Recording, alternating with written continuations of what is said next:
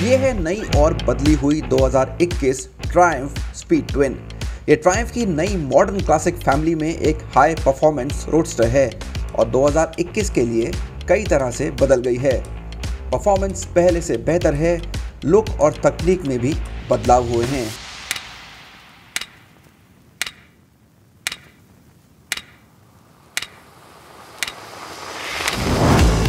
1200 CC का बॉनवेल high power engine अब 3 bhp ज़्यादा बनाता है और रेव लाइन 500 आरपीएम ऊँची है।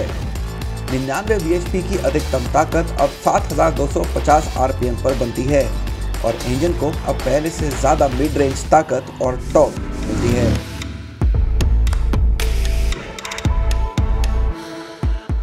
एक सौ एनएम का पीक टॉक अब 500 आरपीएम कम, यानी 4250 आरपीएम पर मिलता है।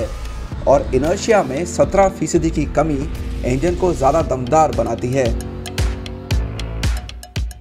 ये नए क्रैंक शाफ्ट बैलेंसर शाफ्ट और पिस्टन्स के ज़रिए किया गया है।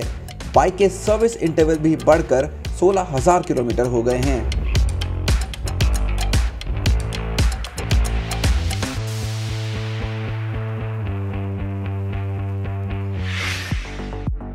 बढ़ी हुई परफॉर्मेंस से मेल खाने के लिए बाइक का सस्पेंशन भी बदला गया है। ये कार्टरेज डैम्पिंग वाले 43 मिलीमीटर मार्जो की फोक्स के साथ आता है, जिसमें 120 मिलीमीटर का ट्रैवल है। ब्रेकिंग भी पहले से बेहतर है, क्योंकि अब बाइक में Brembo 4 piston M50 radial monoblock calipers दो 320 मिलीमीटर डिस्क के साथ लगाए गए हैं। पिछले पहिए में निसिन के two piston caliper 220 millimeter disc के साथ लगे हैं। 17 इंच के अलॉय व्हील्स में नई 12 स्पोक डिज़ाइन है और इनमें Metzeler race tech R R tyres लगे हैं, जो बेहतर पकड़ के लिए तेज रफ्तार पर स्थिरता देते हैं। स्पीड ट्विन को तीन राइडिंग मोड मिले हैं रेन रोड और स्पोर्ट जिनमें 2021 के लिए कुछ बदलाव किए गए हैं।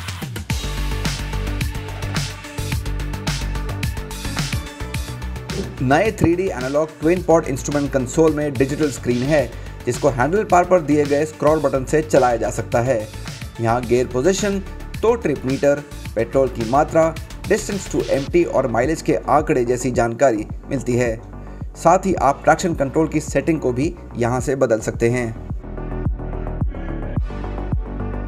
2021 ट्राइम स्पीड ट्विन की डिज़ाइन काफ़ी हद तक पहले जैसी है, लेकिन कुछ प्रीमियम बदलाव ज़रूर देखे गए हैं। साढ़े चौदह लीटर के पेट्रोल टैंक पर नए ग्राफिक्स हैं और एनोडाइज्ड हेडलैम्प माउंट्स भी नए हैं। उठे हुए सैलेंसर्स को अब ब्रश एल्यूमिनियम फिनिश मिली है। इसके अलावा बाइक पर क्लासिक मोन्जा फ्यूल कैप और साफ़ एनोडाइज एल्यूमिनियम स्विंग आर्म भी हैं। दोनों मड गार्ड्स पर नए माउंट लगे हैं और साइड पैनल्स और हील गार्ड्स पर ब्रश्ड एल्यूमिनियम फिनिश है।